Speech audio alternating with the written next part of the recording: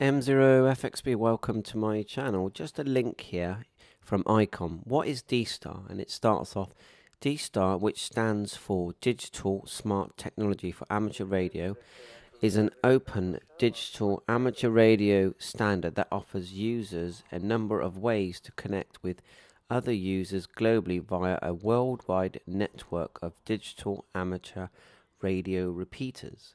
That's the beginning.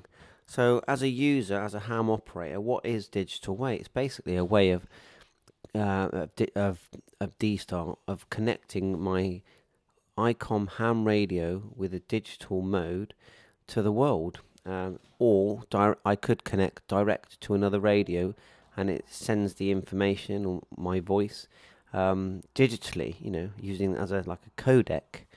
So. Ha- have a good read, uh, and then you'll. Uh, the thing about digital is it allows a lot more than normal analog. So um, you know it's uh, it's an advancement in communication. So check it out. This link. Have a read. Let me know what you think. Seven three. All the best.